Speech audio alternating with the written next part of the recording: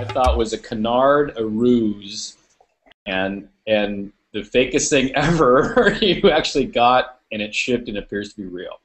Yeah, I haven't opened it up yet. I don't even know how it works, if it uses magnets or what. But yeah, it sounded like uh, cold fusion and magic energy.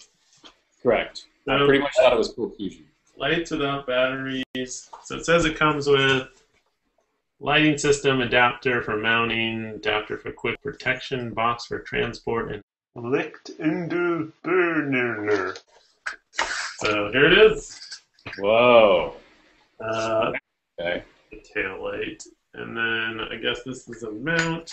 This is my city bike that I installed the Magnic lights on. Uh, here they are in the front. I have the cantilever version because this is on my old cross bike that I turned into a city bike. You can see the magnets are about the distance of a brake pad to the rim. And you can feel a little bit of pull of the magnet uh, when they get close to a, a metal rim like that. And here's the rear. The rear is not actually lit. It's actually the sun kind of shining through.